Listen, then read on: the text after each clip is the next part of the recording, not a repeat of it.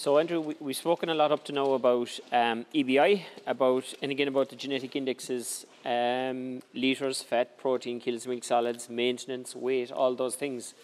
One thing we didn't mention is is about linear traits and the importance of them. Um, how important are they, and, and what's your approach in the context of the advice that you would be giving? Yeah, look, I, I think uh, herd sizes are after increasing. Um, more pressure on the on the farmer, uh, on the, the labourer, um, and on the system. And it's very important there. With big numbers there, you need good legs and feet. Um, now this is fine cow, but she's she's leaning very well back in her in her feet. And you know, maybe would that animal survive in long distances there? You can see the way she's really falling back. Um, and those traits are very important, as well as, um, you know, moving back and forth from, from, from one end of the farm to the other. Um, you know, you just wonder, you know, how, how long would that animal survive?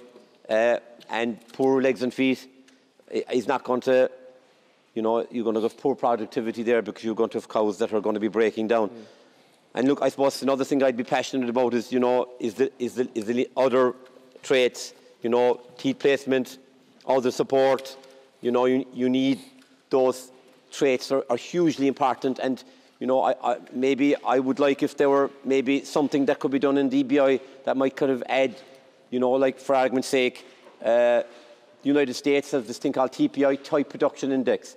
So the type is actually built into their index. Okay. And in Canada, then they have LPI, which is Lifetime Production Index. Yes. And, you know, the legs and feet and the mammary traits there, you know, determine how long an animal stays in the herd, you know, outside the, you know, the likes of, I know there is a trait in called the health trait in the EBI, and those traits can be seen in the EBI linear uh, when you look into it, but, you know, um, to be nice, maybe if they're just a little bit more transparent, but they're, they're huge factors. I, I, I, I wouldn't use a top bull if he fell short with poor legs and poor udders. Okay. I'd go down the list a little bit there and find a more correct bull.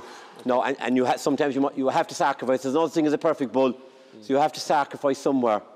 But I, I would sacrifice, you know, efficiency there, uh, you know, just to get that bull, you know, that'll give you better legs and feet and improved udders. Yeah. You know, I think Okay. it's, you know, it's nice to milk a good cow. Um, And I suppose there, there is an increase in the amount of robot herds in the country. So udder formation, teat placement is obviously key for It's that. as hugely well. important, Okay, and look, okay. you know, the, the, the, the you know the, the difference between milking a good animal there is just bull choice, like Okay. you know, it's that simple. Okay. Uh, you know, and and um, you know, you could have very high EBI uh, proven, obviously, because the genomics you don't know what you're getting, unfortunately, until until they milk on the ground.